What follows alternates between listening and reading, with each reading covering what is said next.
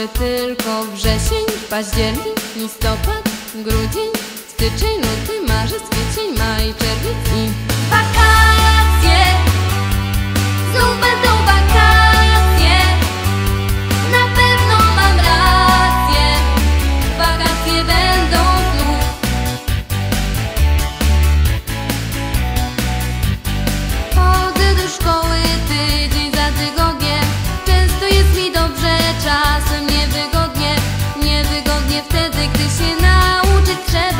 Ciągle po głowie mi chodzi taki temat Że jeszcze tylko listopad, grudzień, styczeń, luty, marzec, kwiecień, maj, czerwiec i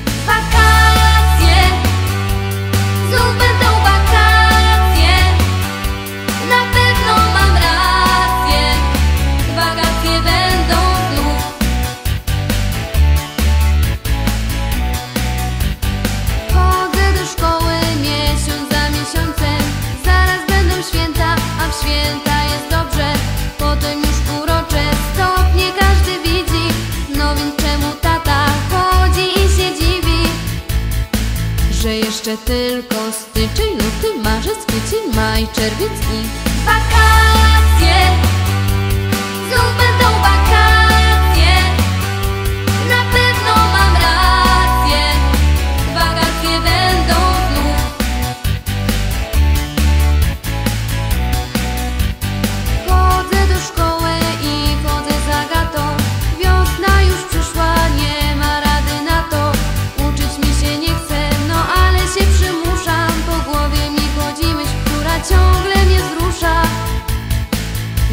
jeszcze tylko kwiecień, maj, czerwiec i